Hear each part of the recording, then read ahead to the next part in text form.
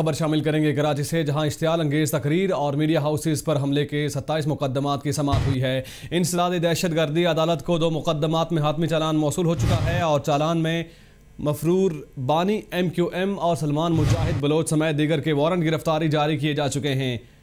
S S P investigation Abid Qaim Khani کی عدم حاضری پر عدالت کی جانب سے برہمی کا اظہار کیا گیا ہے۔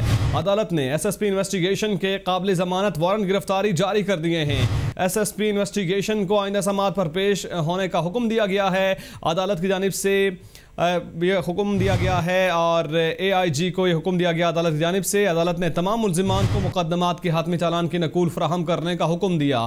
عدالت نے چار سے زائد مقدمات کے مزید حتمی چالان طلب کر لیے ہیں اور سماعت پانچ مئی تک ملتوی کر دی گئی ہے۔ آئندہ سماعت پر ملزمان پر فرد جرم عائد کی جائے گی۔ فاروق ستار، عامر خان اور دیگر انسداد دہشت گردی عدالت میں پیش ہوئے۔ ایم کیو ایم ایسا متعلق آپ کو خبر دے رہے ہیں اور ساتھ ساتھ آپ کو اپڈیٹ کریں کہ ایم این اے کنور نوید جمیل کی جانب سے عدم پیشی کی درخواست دائر کی گئی ہے۔ اسمبلی سیشن میں مصروف ہوں، پیش نہیں ہو سکتا، یہ موقف دیا گیا۔ اسی پر بات کریں گے کیپٹل ٹی وی کے نمائندے محسن اسماعیل سے۔ محسن، آج کن کن لوگوں کے وارنٹ جاری کی گئے ہیں؟ سماعت کے بارے میں بتائیے گا۔